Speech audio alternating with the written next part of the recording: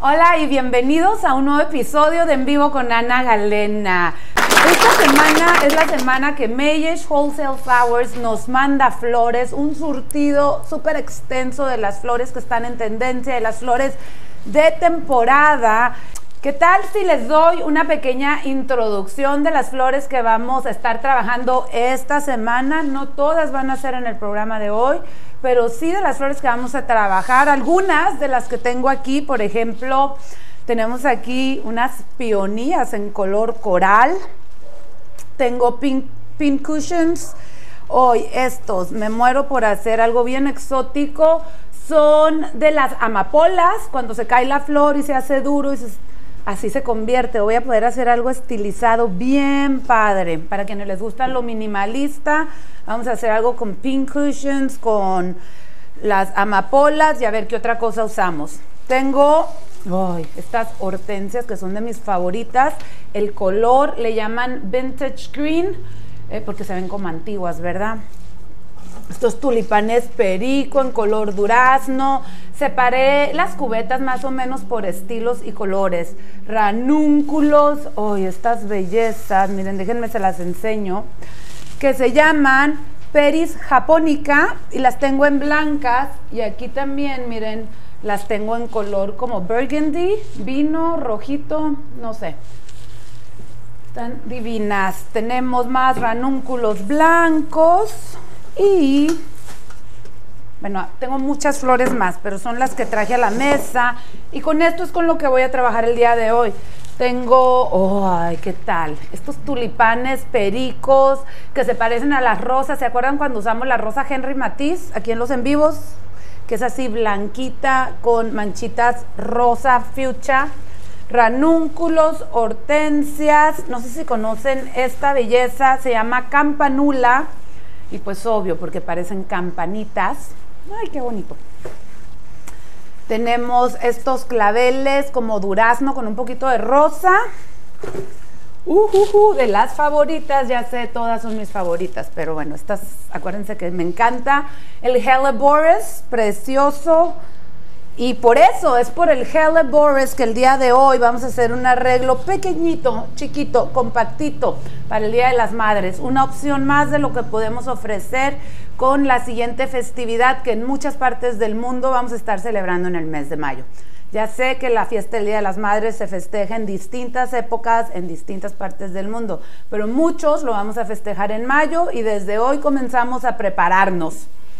También tenemos, hay un follaje que voy a usar, porque este arreglo que pudiera ser un diseño muy moderno, le voy a dar un toque muy campirano, como me gusta a mí.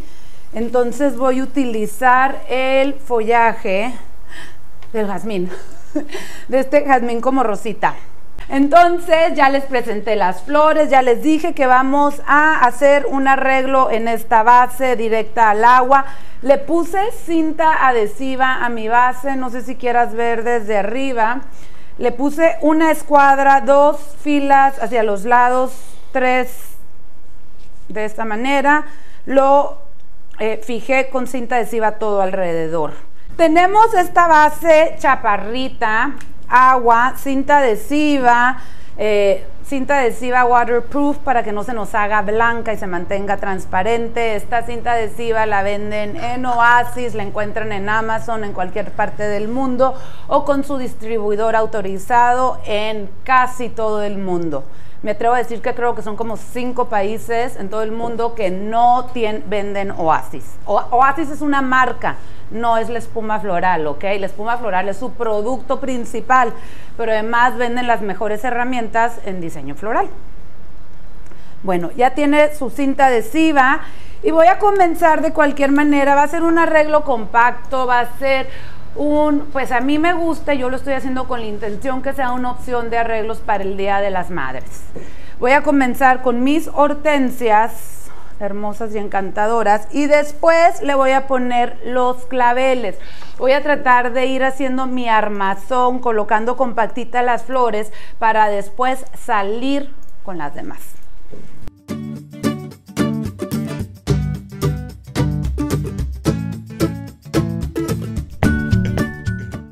Coloqué dos hortensias, más o menos al centro, pero no están completamente al centro, están de ladito, porque acuérdense que aquí necesitamos que haya mucho movimiento. Voy a colocar claveles todo alrededor de la, de la base, pero en grupitos, no de uno por uno, o sea, no solitos. ¿Por qué? Para que le den más fuerza a los demás tallos que voy a ir colocando y además para que logren hacer como un contraste de color. Entonces también acuérdense que en diferentes profundidades vamos a ir colocando las flores.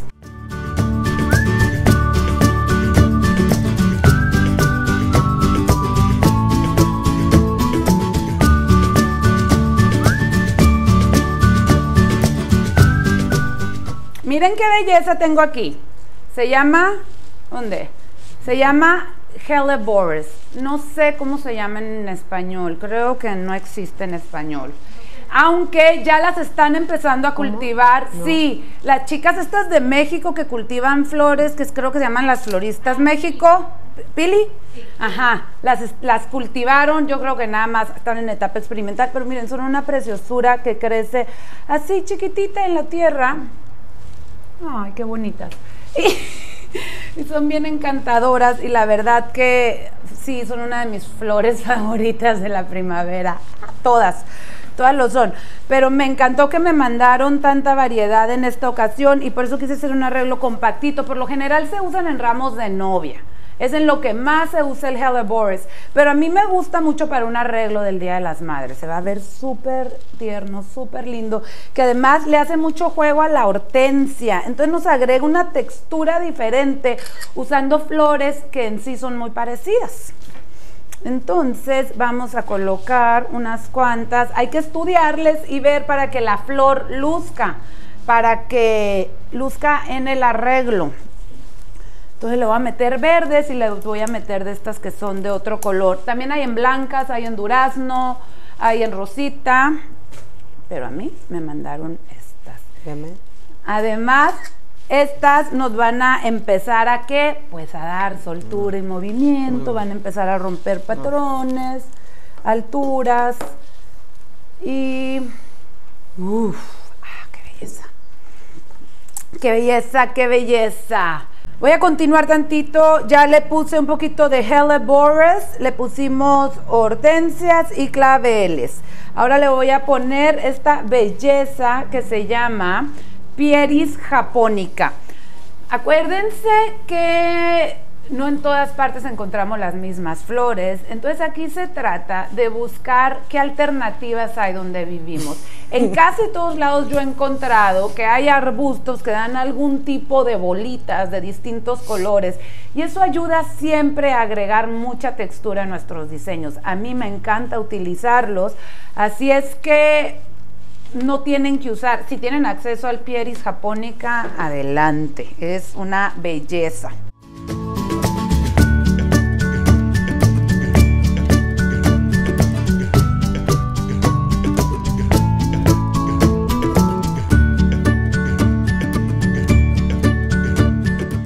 Por favor, puedes enseñar el Hellebores de cerquita, close claro que sí, nos vamos a esta cámara. allá.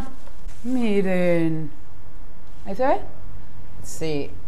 Gíralo. qué cosa tan más linda. Miren la florecita. No. ¿No? Sí, es que no, se enfoca más la de atrás. Ay. Pero sí se ve muy padre. Bien, bendiciones para todos. Ay, miren qué cosa tan más hermosa. Eh, ay, qué belleza. Estoy encantada con esta composición de flores. Que si a mí me fueran a mandar un arreglo el Día de las Madres, yo ya lo quiero. Yo ya lo quiero. ¿Qué lleva? Hellebores, lleva Pieris japónica, lleva ranúnculos y ranúnculos mariposa, hortensias y claveles. Ah, le agregué un poquito de follaje de menta. Hoy va a tener un aroma exquisito. Me pregunta por qué pueden sustituir eh, los ranúnculos mariposa. perdón, el hellebores Hay flores que no podemos, o sea, que no vas a sustituir exactamente. Por eso tu arreglo floral tienes que hacerlo en base a lo que encuentras en donde tú vives. Estamos tratando de crear un diseño lo más natural que se pueda. Flores tipo jardín. Alguien comentó que si tal vez con unas astromerias, creo que unas astromerias de las que todavía están un poquito manchaditas de verde, que no sea una astromeria muy bultosa sino que tenga unas dos o tres florecitas, pudiera dar el efecto, porque es una flor, eh, es una flor muy finita. la cosa es que a veces trae tantas flores el tallo que se convierte en una flor muy grande y muy tosca. Entonces vamos a tratar de que sean algo más estilizado para que luzca por sí. Y, todo lo demás, o sea, traten de encontrar flores que encuentran, pero también yo les voy a decir algo que se vale y que es súper importante, pues anhelar un día estar en una ciudad donde tengas la oportunidad de trabajar con ciertas flores. Yo me acuerdo hace dos años que estuve en Dinamarca, que fue la primera vez que yo tuve la oportunidad de, ay, se me acaba de ir el nombre. ¿De qué? Hoy ah, de trabajar con las que usamos hace dos semanas. Pero que era una flor que yo aquí nunca había visto. Y bueno, estando en Dinamarca, tuve acceso a esas flores y pues decidí hacer un arreglo floral para nuestros anfitriones y de esa manera yo poder experimentar con esas flores que no en todo el mundo encontramos todo. Por eso se trata de conocer, de disfrutar, de gozar. Eh, el mundo floral, de aprender técnicas y saber qué combinar con qué. Para darle el toque final estoy usando un poco de jazmín. Voy a como envolver el arreglo como si estuviera envuelto en una enredadera, que eso es, ay, qué lindo. Y lo voy a envolver entre las flores. Además, eso me va a ayudar a, a darle soltura. Seguimos con la soltura. Es que los jardines normalmente tienen mucha soltura. Regresando a las oportunidades, la verdad y a lo que les decía, cómo ha ido creciendo la industria floral, cómo cada vez sabemos más personas que estamos descubriendo esta pasión, esta magia del mundo floral, cómo cada vez hay más clases, hay más personas compartiendo su talento. Me encantó eh, un hashtag que acabo de conocer y que, bueno, estoy segura que se va a poner muy de moda, que dice compartir, no competir. Ah, sobre el arreglo de hoy, nada más les voy a repetir qué flores lleva, sé que han estado preguntando, tenemos, tenemos, usamos hortensias verdes, ¿en dónde estamos? ¿Enfrente? Ok, hortensias verdes, ranúnculos, estos son ranúnculos normales, y estos otros chiquitines son ranúnculos mariposa, eh, es otra variedad. Tenemos hellebores, que son estas, no, estas divinuras, tengo que ver, que yo sé que no se consiguen en todas partes del mundo, pero si tienen un día la oportunidad de conseguirlos, aprovechen, son divinos, duran mucho, son de esas florecitas que duran 3, 4 semanas.